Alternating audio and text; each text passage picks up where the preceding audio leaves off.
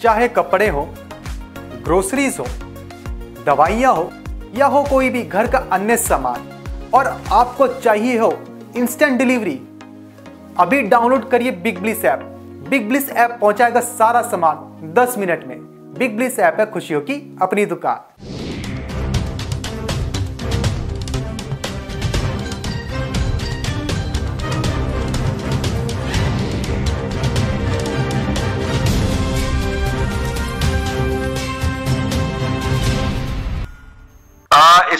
इसी चर्चा के ऊपर में दोबारा भी आएँगे जो इस समय पर इंटरनेशनल जियो पोलिटिकल सिनेरियो बना हुआ है और उसके लिए के अंदर तो एनसीडीएक्स का जो हेजिंग टूल है वो एक रामबाण की तरह है और नुकसान के जो चांसेस है उसको रिड्यूस किया जा सकता है। इस पर हम वापस चर्चा करेंगे। आ, पहले वीरेन जी आपके पास आ रहा हूँ।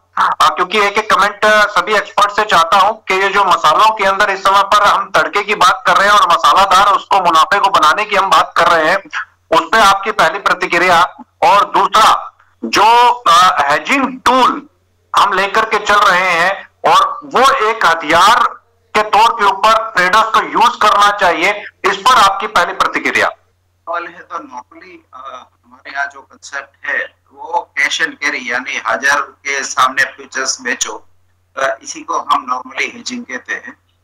जब मार्केट इन्वर्टेड हो, यानी अगले फ्यूचर्स जब डिस्काउंट में चल रहे हो, जो कि लास्ट ईयर हमने काफ़ी चीज़ों में देखा ऑयल सीड्स में देखा, और ऑयल एडिबल ऑयल में भी देखा तो जिसको रिवर्स हजिंग बोलते हैं तो इन दैट सीनेरियो आप फ्यूचर्स में लॉन्ग रहो और फ़िज़िकल बेचो डिलीवरी लेके फ्यूचर्स की रिवर्स आर्बिट्रेज भी जिसको बोलते हैं तो मैं ऐसा मानता हूँ कि इसमें पॉइंट ए और पॉइंट बी दोनों को ध्यान में रखना चाहिए यानी cash and carry arbitrage as well as reverse arbitrage क्योंकि हेजिंग दोनों ही हेजिंग है। एक एक में आप एंट्री दिल्ली टू मथुरा करते हो और दूसरे में मथुरा टू दिल्ली करते हो। दूसरी बात के लास्ट ईयर दो साल से हम जो सप्लाई चेन में जो डिस्टर्बेंस देख रहे हैं कहीं ना कहीं लॉजिस्टिक्स का आ, तो ये साल ये थोड़ा पर्टिकुलर यूक्रेन इवेंट जो आया है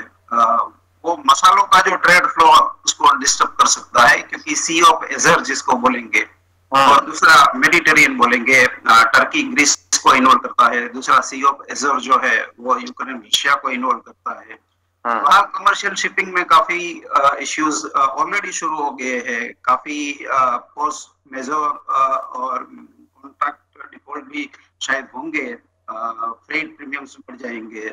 तो ये देखते हुए और जैसे अश्विन भाई ने कहा कि इंडिया ही अभी फ़िलहाल एज ऑफ़ नाउ जीरा। दुनिया में तो इंडिया ही डिपेंडेबल सप्लायर है। हाँ। दुनिया में जो यूक्रेन या रशिया बल्गेरिया रोमानिया उनका जो सप्लाई आता है चाहे उनका दुनिया टेस्ट में हमारे जैसा बढ़िया ना भी हो बट वो मिक्सिंग में चल जाता है। तो फ़िलहाल तो ये सौ सपना रुका हुआ है। और दूसरी बात ये पेंटअप डिमांड में काफ़ी देख रहा हूँ क्योंकि दो साल कोरोना के हिसाब से जो डिस्ट्रप्शन था तो अब horeca sector hotel restaurant catering जिसको बोलते हैं उनमें वर्ल्ड वाइड अनलॉकडाउन की जो पेंटअप डिमांड आई है और ह्यूज लिक्विडिटी क्योंकि दो साल लोगों ने मूवी नहीं देखा बार में नहीं गए ये सारा जो पैसा इकट्ठा हुआ है वो डिस्क्रिशनरी हाँ। स्पेंडिंग में काफ़ी जाएगा तो डिमांड साइड की कोई वरी नहीं है। जो वरी है, वो सप्लाई साइड की है। और सप्लाई साइड में सिर्फ़ इतनी वरी है कि टाइम पे माल मिले। ये चीज़ को एड्रेस करना तो व्यापार तो संभावना तो बहुत खुली पड़ी हुई फ्यूचर हम्म। मार्केट का जो प्लेटफॉर्म है, वो कहीं ना कहीं कारगर साबित होता है। वीरेन जी जैसा कि अभी आप दो टूल्स बता रहे थे, एक तो हेजिंग का टूल आपका एक्सचेंज के ऊपर अवेलेबल है और दूसरा फ़िज़िकल मार्केट का आप एक हेजिंग टूल आप बता रहे थे। तो अब जिस तरीके की समस्या यहाँ पर मतलब अश्विन जी ने बताई कि भाई जो माल का ट्रांजिट है, उस दरमियान पे अगर प्राइसेस अप एंड डाउन हो जाते हैं फ्यूचर मार्केट के अंदर या आपका फ़िज़िकल मार्केट के बीच के अंदर में, वो जो अप एंड डाउन है वो कहीं ना कहीं बायर और सेलर को बाज़ार से क्विट कर देता है। यानी कि या तो बायर भाग जाएगा, उसको अगर पैरिटी पे माल नहीं दिख रहा होगा, या सेलर भाग जाएगा। तो ऐसी सिचुएशन के बीच के अंदर में किस तरीके से सेफगार्ड हुआ जा सकता है?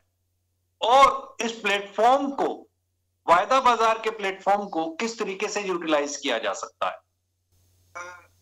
इसमें अप्रोच कॉमोडिटी स्पेसिफिक होना चाहिए। राइट और मार्केट स्पेसिफिक भी होना चाहिए हम्म। जैसे सपोज़ मिर्ची बीच में जो अपनी बात हुई थी तो मिर्ची के और बादाम के भाव अभी एक है बट अनफॉर्चुनेटली हमारे पास मिर्ची का हेजिंग टूल नहीं है हम्म। दूसरा जो बैकअप की बैकआउट की बात हुई कि कॉन्ट्रैक्ट डिफॉल्ट्स या हम जिसको कॉन्ट्रैक्ट सेंटिटी बोलते हैं तो उसमें पर्टिकुलर कंट्री ऐसे है और पर्टिकुलरली कॉमोडिटी ऐसी है जैसे कॉटन है या तो पाम ऑयल है या सोयाबीन है उसमें बैकआउट इज़ रूटीन इवेंट के और नॉर्मली दोनों साइड ये बैकआउट कर देते हैं शार्प पेस्ट में मार्केट जाए तो। फिर आर्बिट्रेशन इसका हल होता है। स्पाइसिस में ये ज़्यादातर छोटी और एसेंशियल काइंड की चीज़ है कि भाई ज़रूर पड़ती है तो इसमें इतना मैंने वॉश आउट नहीं देखा जितना बल्क कॉमोडिटी में देखा है हम्म। और जहाँ तक फ्यूचर्स प्लेटफॉर्म का सवाल है तो अभी जो ऑयल सीड्स और एसेंशियल कॉमोडिटी जो अभी अवेलेबल नहीं है तो जितनी भी लिक्विडिटी है वो कंसेंट्रेटेड है स्पाइसिस पैक में तो ये फॉर्चुनेटली हाँ। स्पाइसिस को इसका फ़ायदा मिल गया है जो हॉट मनी इनफ्लक्स जिसको बोलेंगे कि भाई हॉट मनी है उनके पास अब ये तीन चार तीन ही ऑप्शन तीन चार ऑप्शन ही अवेलेबल है तो लिक्विडिटी हाँ। अच्छी है तो हेजिंग जिनका काम जिनका एक्सपोर्ट्स का स्पेशली काम है या इंपोर्ट्स का काम है तो उनको लिए तो ये अभी फ़िलहाल काफ़ी अच्छा मौका है और मैं ऐसा भी देख रहा हूँ कि वॉलेटिलिटी जिस हिसाब से है तो जो जगदीप भाई ने कहा था कि एक्सपेक्टेड लॉस और कैपेसिटी टू बेयर हाँ वो दोनों लाइन ध्यान में रखते हुए अभी मैं समझता हूँ कि हेजिंग इज़ एसेंशियल पार्ट ये उनके बिना चलेगा ही नहीं। चलेगा ही नहीं, बिल्कुल बिल्कुल निश्चित तौर के ऊपर।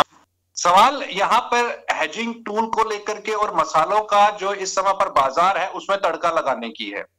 एक एक कमेंट एक एक हम मसाले के ऊपर अगर हम बात करते हैं, चाहे आपका फ़िज़िकल मार्केट हो या फिर फ्यूचर मार्केट के बीच में ट्रेड होने वाले जो मसाले हैं, उनमें तीन मसाले लगातार यहाँ पर चर्चा का विषय बने रहे हैं। जीरा है, हल्दी है और धनिया है।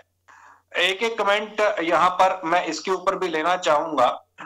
वीरेन जी, आपको क्या लगता है इन तीनों सब्जेक्ट्स में से, इन तीनों कमोडिटीज में से, चाहे वो हल्दी की बात कर लें चाहे जीरा की बात कर लें या फिर हम बात कर लें धनिया की, इन तीनों कमोडिटीज में आपको बेस्ट कमोडिटी क्या लगती है? जीरा अपने शबाब पे है। जीरा रिकॉर्ड तोड़ रहा है यहाँ पे डे बाय डे रिकॉर्ड तोड़ रहा है। एक अच्छी खासी तेज़ी हमने जीरे के अंदर आते हुए देखी है। और इसके पीछे पीछे धनिया और हल्दी भी चल चुके हैं। और एक बेस्ट प्राइजेस हमने यहाँ पर हल्दी के अंदर में कई फैक्टर्स की वजह से भी देखे हैं। क्योंकि यहाँ पर एक, इन मसालों के बीच के अंदर तेज़ी का एक और भी कारण है, जो पिछले डेढ़ दो साल के बीच के अंदर हमने देखा, बहुत सारे एंटरप्रेन्योर्स नए कूदे हैं मसाला इंडस्ट्री के बीच के अंदर में। चाहे ऑर्गेनिक कह करके वो मसालों को बेच रहे हैं, या फिर अपने मसाले की एक छोटी सी इंडस्ट्री कह लीजिए, उद्योग कह लीजिए, उनको उन्होंने स्टार्ट किया है। और ऐसे हज़ारों ऐसी इंडस्ट्रीज़ हैं जो मसाला कारोबार के अंदर में कूदी है। तो क्या हम ये माने कि ये जो तेज़ी आई है ये इंटरनेशनल डिमांड ना होकर के डोमेस्टिक एक डिमांड जनरेट हुई उसकी वजह से ये तेज़ी देखने को मिली है? वीरेन जी? जीरा हमारे यहाँ दो है। एक एनसीडीएक्स क्वालिटी जीरा और दूसरा ये ऑर्गेनिक या आईपीएम जीरा। तो मैं दोनों को अलग अलग देखता हूँ। मेरी बैलेंस शीट तीन तरह की होगी। अच्छा। ऑर्गेनिक की भी होगी एनसीडीएक्स जिसको जीरा मानता है उसकी भी होगी यानी कॉन्ट्रैक्ट स्पेसिफिकेशन के हिसाब से और ऑर्गेनिक की भी होगी। हाँ। दूसरा के हल्दी का सवाल है तो वो अपने ऑल टाइम हाई सत्रह हज़ार से अभी भी काफ़ी नीची है बट फिर हाँ। भी वो मेरे बाइंग लिस्ट में नहीं है। या प्रिफर्ड नहीं है जो भी आप मानो। प्रिफर्ड बेट मेरा टेक्निकल या फंडामेंटल सभी हिसाब से जीरा में मैं इवन इफ़ ये प्राइस में ऊँचा है फिर भी मेरा बेट जीरा पे मेरी पसंद ज़्यादा रहेगी। ओके तो कारण जीरे के लिए स्पेसिफिक कोई कारण आप बता पाएँगे? एक तो मैंने जो आइडेंटिफाई किया कि रेगुलर जीरा आईपीएम जीरा ऑर्गेनिक जीरा। हाँ। दूसरा थोड़ा क्रॉप डैमेज स्टोरी स्वाइंग भी काफ़ी कम रही। और दूसरा ये है जो सबसे बड़ी बात जो मेरा कोर लॉजिक है वो ये है कि डेस्टिनेशन मार्केट और ओरिजिन मार्केट डेस्टिनेशन मार्केट में इन्वेंट्री थोड़ी लो है जीरा में। Okay okay. जो अनलॉकडाउन प्रोसेस पूरे वर्ल्ड वाइड चालू हो चुकी है होटल खुल रही है लोग बाहर निकलना शुरू हो गया मास्क मैंडेट खत्म हो गया ये एसओपी जो कोविड एसओपी सब खत्म हो रही है। हम्म। तो ये देखते हुए इसमें थोड़ा ज़्यादा है। और दूसरा कि जो मैं चार्ट के हिसाब से जाता हूँ तो इलियट वेव के हिसाब से भी मुझे इसमें थोड़ा कंफर्ट ज़्यादा है। टेक्निकली स्पीकिंग इलियट वेव के हिसाब से इसमें थर्ड वेव चल रहा है अभी। Okay okay. वेव में करेक्शन आएगा फिर लास्ट में फिफ्थ वेव आएगा। जो और अभी और धनिया धनिया को लेकर के क्या आपका रुख है?